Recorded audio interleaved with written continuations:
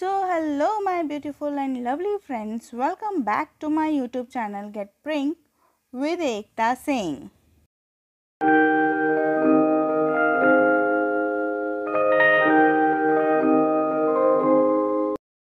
Six अगस्त 2022 को हर साल की तरह sari speak Bhopal chapter national handloom day celebrate कर रहा है और इस बार की थीम रखी गई है एक टुकड़ा खादी का। मतलब आपको खादी को प्रमोट करना है। मेरी साड़ी तो खादी की थी ही पर उसके साथ में मेरे पास में कोई नेक पीस नहीं था तो मैंने खादी का ये नेक पीस रेडी किया है और मैंने इसमें कोशिश की कि मैं साड़ी को भी प्रमोट करूँ, ना सिर्फ़ खादी को बल्कि साड़ी को भी मैं प्रमोट करना चाहती थी।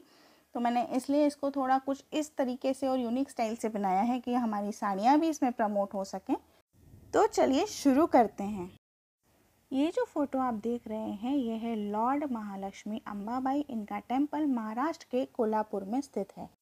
महालक्ष्मी अम्बाबाई को जब आप ध्यान से देखेंगे तो इन्हें बहुत ही यूनिक स्टाइल से साड़ी और ज्वेलरी पहनाई गई है। इसी से इंस्पायर होकर मैंने ये नेक पीस रेडी किया है। इस नेक पीस को बनाने के लिए मुझे किन किन चीज़ों की ज़रूरत थी और किस तरह से मैंने इसे बनाया है, अब हम आगे वही देखेंगे। सबसे पहले हम एक कार्डबोर्ड के ऊपर स्क्वायर कट कर लेंगे। स्क्वायर आप किसी भी साइज़ का ले सकते हैं। मैं इस साइज़ का स्क्वायर लूँगी।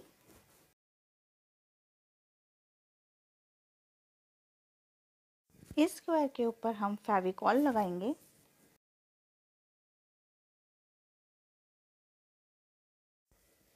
ये मैंने फ़ोम ली है, ये आप मार्केट से परचेस कर सकते हैं या आप नई शर्ट्स ख़रीदते हैं, उसके अंदर भी आपको लगी हुई मिलती है। इस स्क्वायर को हम इस फोम के ऊपर चिपका देंगे। अब हम इसे कट कर लेंगे।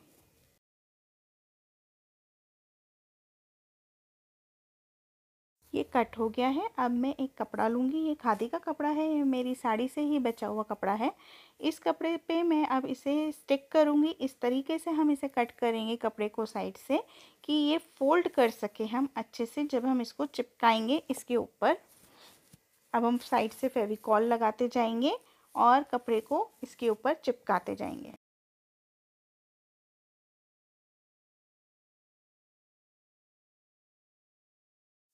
जब कपड़ा चारों तरफ़ से चिपक जाए तो इसे सिक्योर करने के लिए हम पीछे से एक और कार्डबोर्ड का टुकड़ा चिपकाएँगे और सूखने के लिए साइड में रख देंगे।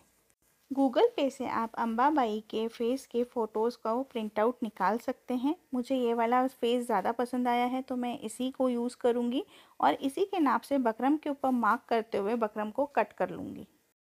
बकरम को कट करने के बाद इसे एक साइड से हम वाइट कलर से पेंट कर लेंगे।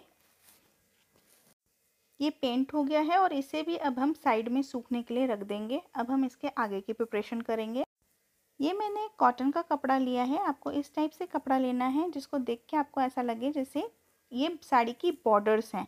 तो मैंने इसीलिए इस टाइप का लाइनिंग वाला कपड़ा लिया है और इसकी ऐसे प्लेट्स बनाते हुए हमें स्टिच करते जाना है।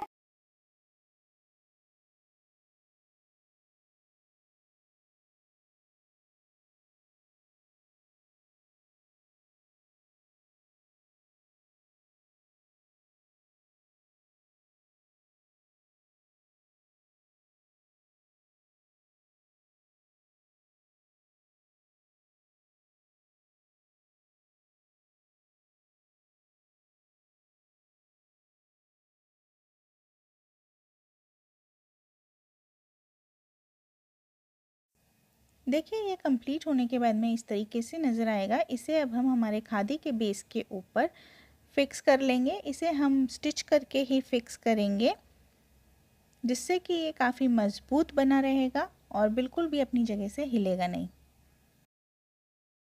ये देखिए स्टिच होने के बाद में कितने अच्छे से ये इसके ऊपर फिक्स हो गया है। अब हम इसके आगे की प्रिपरेशन करेंगे।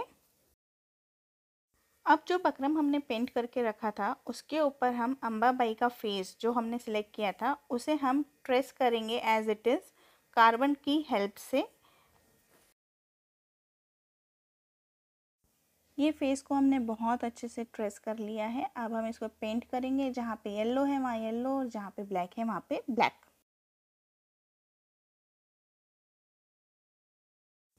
फेस पेंट हो जाने के बाद में मुकुट को और उनकी ज्वेलरी को हम बनाएँगे डायमंड मोती और कुंदन से, ताकि ये और एट्रैक्टिव लगे।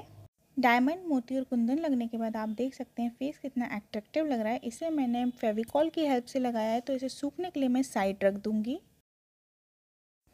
आप देख सकते हैं सूखने के बाद फेस कितना सुंदर दिख रहा है। अब मैं फेस के ऊपर बिंदी बनाऊँगी, जो महाराष्ट्रियन स्टाइल की बिंदी होती है वो, और पूरे बकरम को बहुत अच्छे से फेस के अकॉर्डिंग कट कर लूँगी।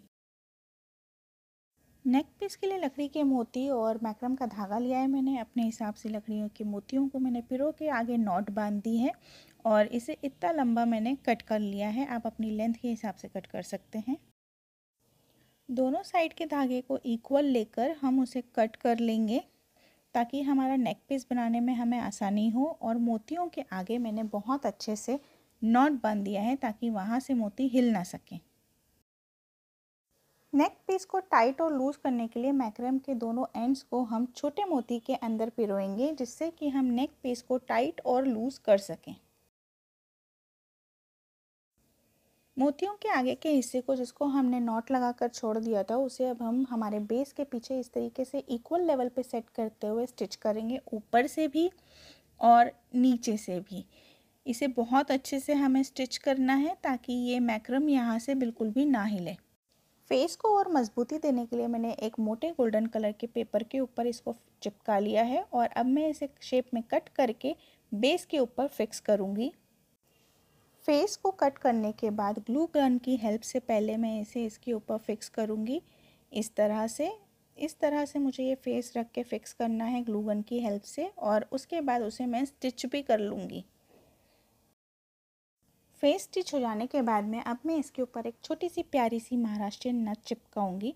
देखिए, नथ चिपकाने के बाद ये कितना खूबसूरत नज़र आ रहा है।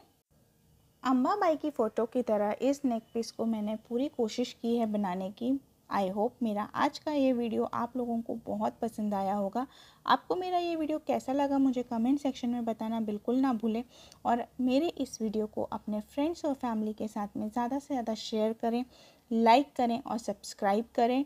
आई होप मैं बहुत अच्छे से इस नेक पीस को बना पाई होंगी और आप लोगों को समझा भी पाई होंगी। Thank you